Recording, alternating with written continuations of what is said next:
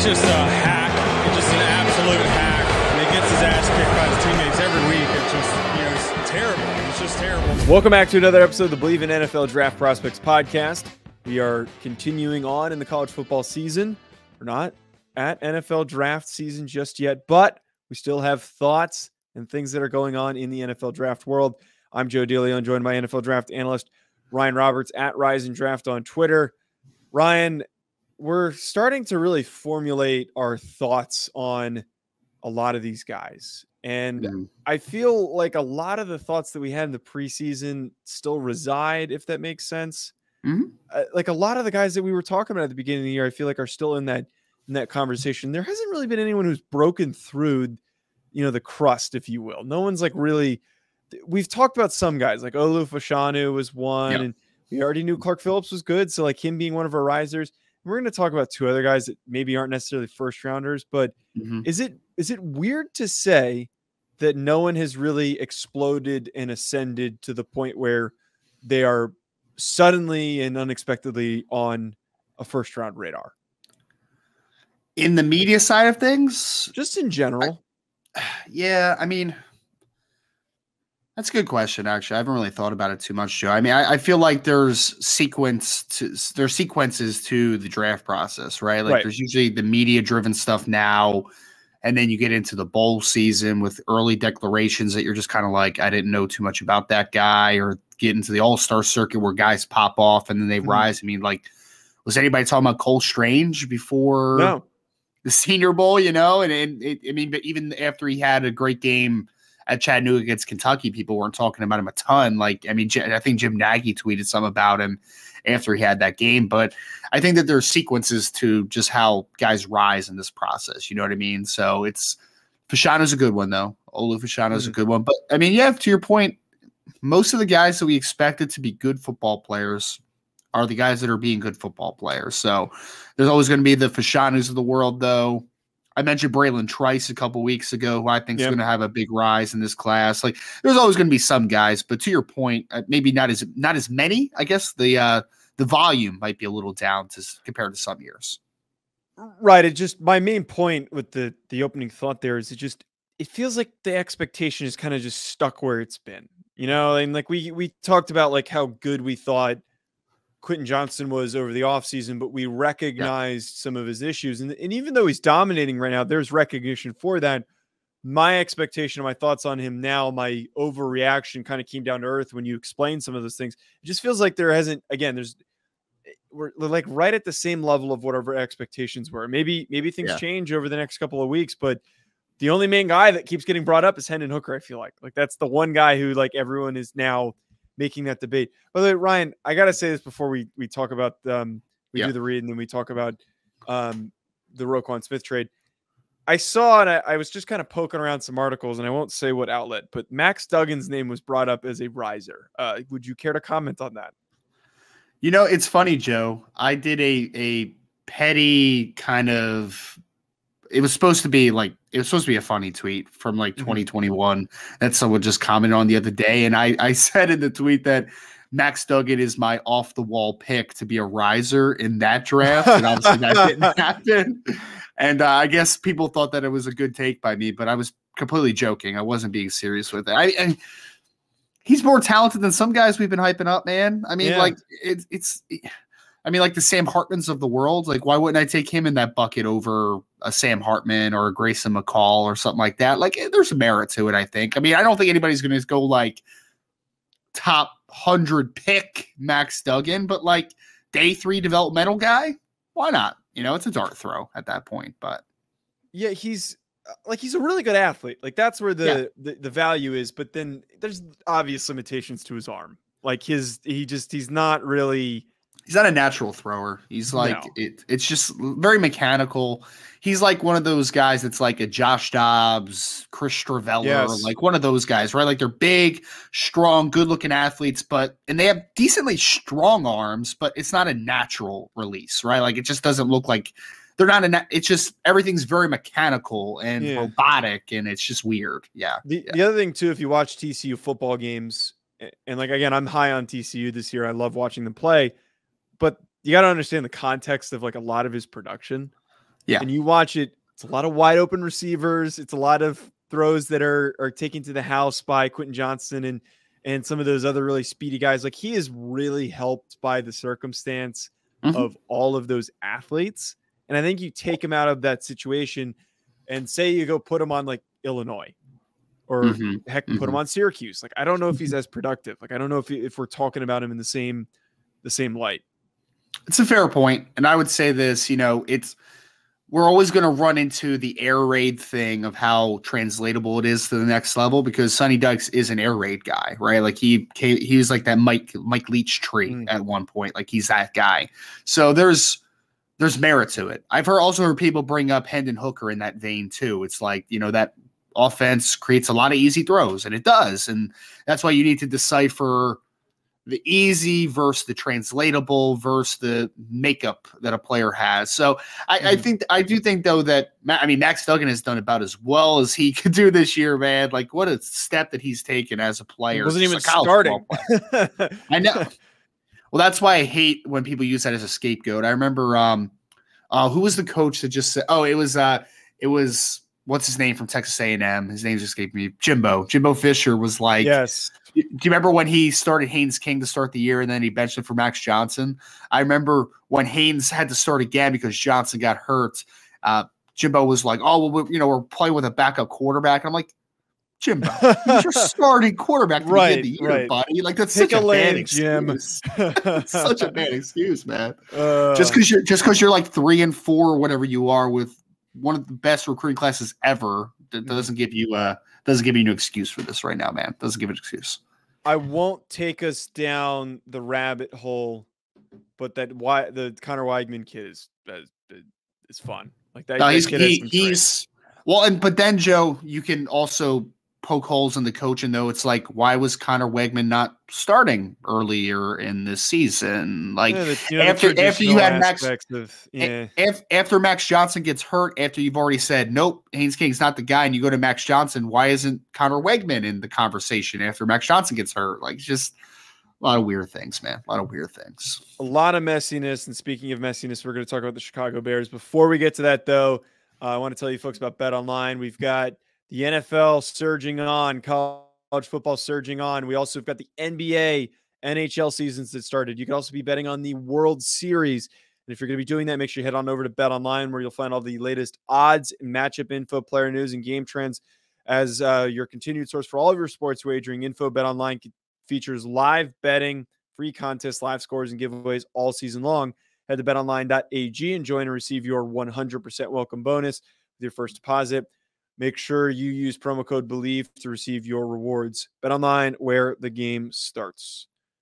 All right, so we had a trade go down that was pretty significant. Now, I know that there were a lot of trades that have been happening over the past few days, and once the trade deadline hits, there's going to be even more significance. Um, but I think that this Roquan Smith trade by the Chicago Bears is probably going to be the largest one in terms of capital. I I, I Mhm. doubt that someone massive gets moved for a first round pick, but Roquan Smith is heading to the Baltimore Ravens, uh, and they are currently in ownership of a first round pick, two second round picks, and uh, two fifth round picks, along with two fourths, a third, and a seventh. So they are pretty stacked up for this upcoming draft class. Wouldn't be surprised if they didn't try to add some more draft picks. Now, Ryan, I just want to talk from like an overall team building perspective as a draft show. That's the Yep. angle that we're always going to take. This is going to be probably the biggest rebuild in the NFL, separate from the Carolina Panthers. Like, what? What does this really do for them? Like, you get rid of a young linebacker in Roquan who doesn't mm-hmm. want to be there. Like, what? Right. What do you? What do they try to attack? Like, that's to me is like what needs to be fixed on this team because this is it's a mess. Well, I mean, I think if we start with the trade, Joe, I actually think it was a good move by the Chicago Bears. I mean, Yeah. in a vacuum, you're trading one of the best linebackers in the NFL. Like, there's no doubt about it. But Roquan Smith's not signed after this year, so he's going to be due for a massive contract. So, if there's any time to trade him, I think it's now because. Look, look, I'm a big linebacker guy, right? Like I played Right. the position. I value it still heavily. But the fact of the matter is, is that Roquan wants to get paid. Like he wants to get paid.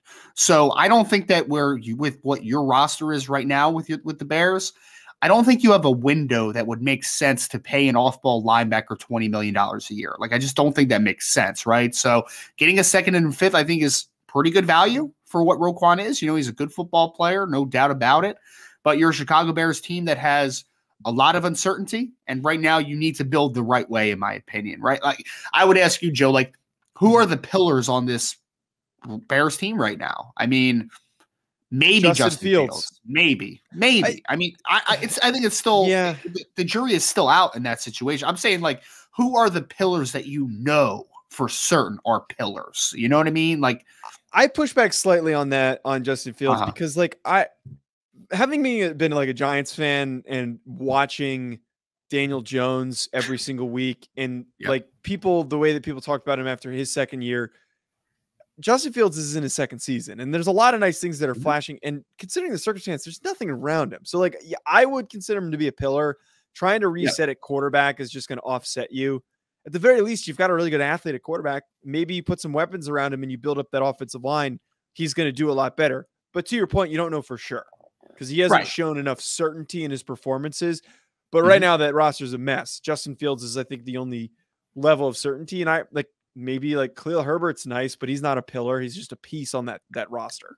I mean, I, I do like Khalil Herbert. I mean, if you ask me who the pillars were, I would say Herbert might be one. Like if I was the Bears after tra- trading Robert Quinn and now making this trade with Roquan Smith, I would try to have David Montgomery on the move. You know, because again, yeah. he's going to be up for contract in a couple years and I just I don't I don't think that he is the type of back that you want to give a second contract to, right? So Khalil Herbert on a rookie deal that was like a six round pick. That's not a bad spot to be in. You have him and hopefully Teven Jenkins is one of your pillars. I mean, I know he's been banged up a little bit. I think he's playing okay this season. Darnell Mooney, you need to start getting it, you know, kind of in back on the right track type of thing. He maybe could be a pillar. Outside of that, I mean, defensively, you have the rookie safety Jaquan Brisker, I think, is a really good player. Yes, Kyler, yes, Kyler, I forgot about him. Yeah, Kyler Gordon's playing, you know, up and down, but he was a second round pick last year. He should probably be thought of as a potential pillar, hopefully. But I mean, to your point, this roster right now is and N'Keal Harry caught a touchdown last week, Joe. I mean, like, let's, let's freeze it like that, right? Uh. Right now, your starting receivers are Darnell Mooney, who's not playing great football, not all his fault. Dante Pettis, who you know played for the Giants at one point, mm-hmm. and Equanimeous St. Brown. Just starting receivers, man. Backups to them, Velus Jones, who has done nothing this year, no. drafted by Tennessee. I mentioned N'Keal Harry, and then Isaiah Coulter apparently is on the Bears, Joe. Uh, yes, he is. He has not. So. No, I did know that. I did know that Zay was on the Bears, but I don't. They panned over to him on the sideline, not dressed, talking to someone. So I don't know if he's he was always somebody who had a lot of injuries. But um, I, yeah, I think there's a lot of different ways that you can, you know, butcher this pig here, or you can fix this team. Like there's so many yeah. different ways that you can fix this, and I guess it's a good problem to have. Like no overanalyzation, yeah. just draft best best available. That first round pick to me has to go to an offensive lineman. Like they can't. And I know that we try not to emphasize the like, oh, you know, reach because indeed Mm-hmm. You can't continue to watch Justin Fields fight for his life, but it helps them. The one thing I will say that that second second round pick, this isn't a great receiver class, but there's going to be some pieces in the second round. Like that's a really good yeah. opportunity for them to get maybe one or two guys, just some weapons. Like they need to start offensively because that's where the best possible pillar, at least the foundation, is Justin Fields. Don't go defensive. Like I feel like if you're like constantly like leaning defense trying to fix this Bears team, Mm-hmm. It, it, that's what this problem has been for so long, Ryan, is that we've mm-hmm. just watched a defensive team with no offensive prowess slop around every single season. I know that's like, well, again, you don't want to reach to, to fill need and, and, and stick to a certain philosophy like we talked about on the show, but yeah. maybe they need to change a pace here. Maybe it needs to be an offensive approach. What the weirdest hire this offseason from a head coaching perspective, aside from – what's the guy's name that's in Denver now was the offense Hackett. coordinator for the yeah Nathaniel Hackett, which is just yeah. an awful hire. And it was an awful hire then, and we talked about it then. That was an awful hire. But draft, but giving the job to Matt Eberflus, who was a defensive coach at the with the Indianapolis Colts as the head coach for the Bears, just thought that was a weird move, man. Like you had a young quarterback that you need to kind of figure things out there's not a bunch of Sean McVays walking around, but I feel like you needed that type of guy, you know, like to come and kind of save the development of a Justin Fields. So mm-hmm. hopefully Matt Eberflus is better than what I think he is, and he can kind of get the offensive structure worked out. But I mean, for me, Joe, like you mentioned the two biggest needs, and I think if you come out of the draft with an offensive lineman early, because they need a right tackle, man, they do. Like Larry exactly. Borom, Larry Borom's not a tackle. Braxton Jones actually playing decent ball at left tackle yeah. as a rookie, which is a nice find in the fifth round. That's awesome. Teven Jenkins develops and becomes the player that we thought he could be coming out of Oklahoma State. Then you're getting better, but right tackle's an issue. You need to get that. And then, man, wouldn't it be nice if they can get Jackson Smith-Njigba to uh, to reunite with Justin Fields? Obviously, he had a lot of a lot of success with him in it during his Ohio State career, and that would be kind of the instant separator that I think they need in this offense. But I could not agree more that it is offensive tackle or offensive line, I guess, just in general, and it is wide receiver. Those are the paramount positions to figure out. And I mean, yeah, weapons, weapons, weapons, and protection. That's what you need for Justin Fields right now. And can't go wrong with that approach, building up the offensive line, getting some receivers. So, Ryan, we've got our next thing that I wanted to get to has uh, a little bit of a connection to your trip this past weekend. So, Garrett Williams suffers an ACL injury, and he is going to be done for the rest of the season. I'm unsure of his exact eligibility off the top of my head. He's a so he would be a technically he would be a he he's would be younger, right? He's a fourth year player, but I think he's technically a sophomore with the COVID year. That's so. that's what I thought. So yeah. he's somebody it seems like probably going to come back. I don't know for mm. sure what that deal is, but this sucks because I think a lot of people had him as a top 50 pick and we talked about yeah. him during the preseason as a top 50 pick, a top corner selection. And now this corner group is seemingly thinning out that there is no Garrett Williams from Syracuse in that discussion. He's a good football player, man. He really is. I mean, I, I feel like most media members have rated him probably around the top 50. And I think that he was a very safe second round type of player. Like I Joe, we talked about in the summer, right? Like he is just a really refined kid, good athlete, just understands how to play a position, man. Like I mm-hmm. talked to a, a, scout for the Denver Broncos about him briefly, and he was just lauding over his football IQ and his spatial awareness and all that great stuff, right? And obviously, that was before the game, before he got injured. So it, it's very unfortunate, man. He's also a friend of the show, and he's a good kid. I actually checked in with him last week leading up to the game to let him know I was coming down to the game, you know, and then I just texted him before we got on the show, just you know, making sure he's doing okay because it's mm. a it's tough, man. Like, cause he he flirted with entering last year's draft. Like, he almost entered 2022 as a 30 or sophomore, and then decided to come back because I guess, he just didn't get quite the grade that he wanted to from the advisory board. But now you come back, and I thought he was having a, a good season, a much healthier season than last year, and unfortunately, gets bagged up with the ACL, which just sucks. I mean, it really does suck. But he's a good football player. Whether he ends up declaring for 2023 still or he goes back to school, I'm not sure what the decision is going to be. But I think that someone's going to get a tremendous value, especially if he comes out, because he's probably going to go lower than he should. And I mean, ACL tears at the end of the day aren't that big of a deal anymore. Like they're not. So it's it's going to be they're, interesting. They're not, but like one of the things, and somebody I was talking about like Saquon's ACL with somebody when he started to have a really good start to the season, and, and it kind of put in a really good perspective that the recovery process is a lot quicker, but it's usually the second season back from that injury is when you're kind of back to normal and you're you're back to the way that you were because there's always just going to be natural hesitation mentally. There's going to be limitations, some slight limitations physically. There's just a lot of factors that come into it. So it hopefully it doesn't hurt him you know, hopefully it doesn't yeah. take him out and take a step back because he's a fantastic athlete. He's a great, great defensive back. It just it sucks. And um, again, there's less good corners that are hmm. now in this class. Yeah, I mean it's getting really thin, man. Because I mean, we talked about it. What was it last week or two weeks ago? The last time we recorded, and I mean, right now, I mean, I'm a huge Clark Phillips guy. We've talked about this out of Utah, but after that, man, you're like, you know, Kelee Ringo has he taken the step forward? You know, I need to see mm-hmm. what the Phillips have been looking like so far this year. Joey Porter Jr. is a guy that everyone's fallen in love with a little bit. Again, uh, just going to kind of tread on that one for a little bit and take a deeper look. Cam Smith, Kyu Blue Kelly, Emmanuel Forbes, like no one's really ascended near the top of this class. Like it's probably, I think it's just stayed pretty steady. I like, I, I like the class in the summer as far as having some depth, but there wasn't any guys at the top that you were like slam dunk. Like Kelee Ringo could be that guy, but he isn't right now. And I think that that's the the struggle that you're finding right now is that you just got a little thinner at the top, and the top was already not not solidified and wasn't star studded. And so this is just a a knock, obviously, because again, Garrett's only 21 years old, three year starter at Syracuse. Last time that we saw him in a really talented secondary with Ifeatu Melifonwu and Andre Cisco and Trill Williams, he was the best defensive back they had as a as a redshirt freshman. So hopefully he gets back soon. But I mean, you're absolutely correct, Joe. This is a big, big um, knock on this class because you're still trying to figure out what the pecking order is of the quarterback group of 2023.